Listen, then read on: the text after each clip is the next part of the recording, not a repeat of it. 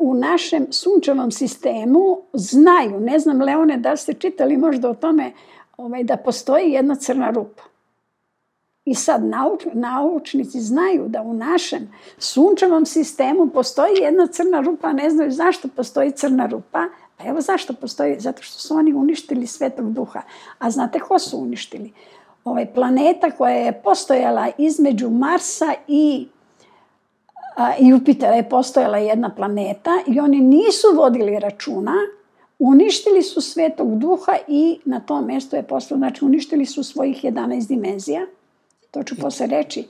Ovaj, recite, pitajte. I tu slobodno. nastane onda crna rupa? Crna rupa ostane. Ako mi uništimo ovo naše, ja zato govorim, ja se trudim na Facebooku, ali me napadaju ljudi, da znate. Ja se trudim da se Albanci i Srbi izbine upravo zbog Svetog Duha, ovo što kaže Hrist. Kaže, sve vam se oprašta, a nema da dirate u Svetog Duha. Zašto? Pa ne dirajte u kosmički program.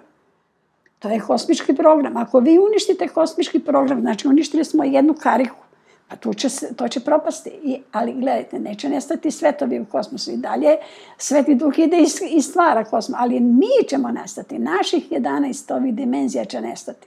Ovo su najnovije majice zlatnog doba i ako želite naručiti, pošaljite poruku na e-mail koji se nalazi u opisu ispod ovog videa. Mnogo toga mi ovde učimo, jer ovo je škola učenja. I pored toga što mi učimo ovde, mi stvaramo elektrone visoke energije od kojih će se u nizu procesa stvarati zvezde. Pazite, stvoritelj je napravio perpetu mobile. Osnova kosmosa to je ovaj trodimenzionalni svet. Šta se dešava? Ja mislim da, da čovek ovaj, emituje 100 fotona po jednom kvadratnom metru, ali nemojte mi uzeti kao u mojoj knjizi ima tačno, tačno podatak, u knjizi Biblija i nauka ima tačno podatak koliko isijavamo, znači kompletan sve biljke, životinje, ljudi, mi isijavamo te fotone i sad šta se dešava? Pazite kako je on lepo to napravio. Ovde iz biološkog života isijavamo te fotone i jednom godišnje iznad galaksije, ali to je princip, znači iznad svake galaksije, Jer crna rupa je u sredini galaksije i ona, i ona drži sve sisteme, sve sunčeve sisteme drži. I ovaj, pojavi se jedan oblak visokih elektrona. I sad astronomi, oni znaju da se pojavi taj oblak visokih elektrona, ali ne znaju odakle dolazi taj oblak visokih elektrona. Pa to stvaraju biološki životi. Stvaraju te elektrone, to je stvoritelj. Vidite kako je on to napravio. Princip, to je kosmički princip. I sa šta se dešava s tim elektronima? Oni vide da ti elektroni ovaj, budu kao oblak i to je, znate koji je to oblak? Od 10 na 39 od 10 na 41 vata, pa to je ogroman, to, to fizičari znaju šta to znači, koji je to oblak visokih elektrona i onda samo nestane, pa ne nestane, njega usisa crna rupa. I sad zna se da oko crne rupe postoji kvadarska stanica. I sad šta se dešava? Tu uvek svake godine ovaj, stvori se taj oblak. Pa stalno svake godine, svake godine i nakon 500 godina stvori se jedna velika zvezda koja ne može, koja je toliko velika da se ispaljuje u kosmos. I onda se osvetli cela kosmos i to je ta supernova. Vi ste čuli, astronomi znaju za supernovu, ali ne znaju kako se stvorila ta energija, pa mi stvaramo, znači biološki životi stvaraju uh, stvaraju ovaj, te supernove. E sad, šta se stvara od te supernove? Stvaraju se zvezde sa malom masom, sa srednjom masom i sa velikom masom. Zvezde sa velikom masom to postaju crne rupe. Vidite kako se kosmos širi. A kosmos se na taj način širi. I zvezde sa malom masom, to je To su zvezde kao ovo naše sunce i samo oko tih zvezda sa malom masom stvaraju se planetarni, planetarni sistemi, a kasnije ću pričati kako bogovi kako imaju veliki zadatak. Oni traže sunčeve sisteme gde postoje planete planete gde mogu da započnu biološki život da bi kada se završi ovo što sam malo prepričala, kada jedna planeta postane zvezda, uzdigne svoj prostor, oni moraju da premeštaju duše negde drugde, kao što mi pamtimo Zašto mi pamtimo Sirius B? Pa zato što su mnogi duše tamo se bile reinkarnirale i sad se reinkarniraju ova, u, ovde, ali zapis u dužici oka ostaje. Uvek ostaje. Dobro, to smo sad rekli o... Ali ćemo još pričati o reinkarnacijama. Ovaj, je, ajde još ovo nešto da kažemo o reinkarnaciji. Ovaj, šta mi sad ovde stvaramo? Mi ovde stvaramo sebi telo za višu dimenziju. Koje je to telo za višu dimenziju? To je telo od ugljenika C7. A, čekajte da se priberem da ljudima, pošto to, to moram da im, da im lepo objasnim. Naše, ovaj, je, naše telo ima oko, ajde da, da mi ne uzmu kao siguran podatak, ali negde oko 100 milijardi ćelija.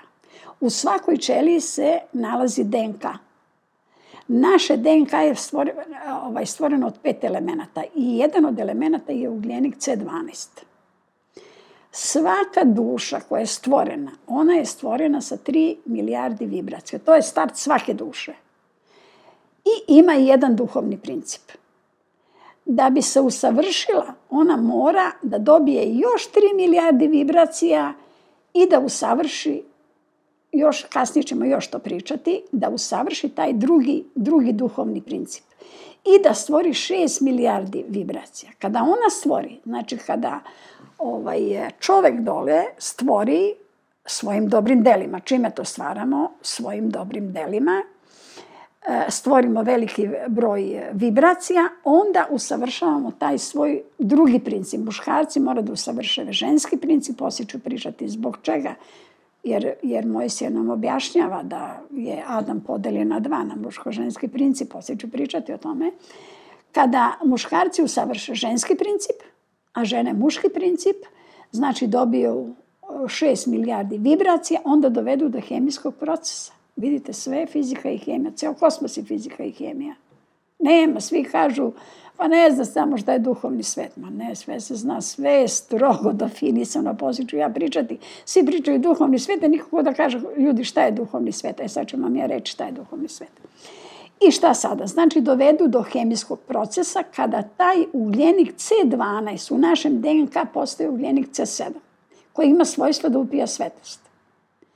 Sad možete misliti, kada u celom telu U svakoj ćeliji više nemate ugljenik C12 nego ugljenik C7 koji upija svetlost. I to je ono upravo što Hris kaže, meni je dugo trebalo da ja shvatim šta to znači, jer kad su Hrista pitali ovaj, kako se može ići u to carstvo, on je rekao onda kada vam ni jedan lude ne bude taman, nego bude kao kad vas blago svet, sveća osvetljava. Pa evo odgovor.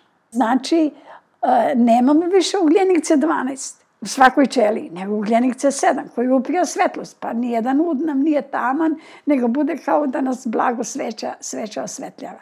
E to je, ovaj, o tome govori, govori Sveti Pavle, jer on kaže, kada ovo raspadljivo obučete u neraspadljivost, onda možete u carstvo. A šta je raspadljivo? Pa ovo telo u raspadljivo. Ali vidjet ćete kako je to stvoreno. Zašto je ovako tero stvoreno? Vidjet ćete. Nama je stvoritelj dao bezbroj mogućnosti. Bezbroj mogućnosti. I vidjet ćete čak ukoliko ovaj duša ne može da se oslobodi, jer mi dođemo dole da se oslobodimo svojih ranjivih aspekata, a to su loše crte u karakteru. I čak ako ne možemo da se oslobodimo tih loših crta u karakteru, onda kad se vratimo kući u petu dimenziju, onda nam Boži sinovi pomažu, o tome ćemo pričati kasnije, vidjet ćete kako pomažu. E sad ovo Srbi Boži narod.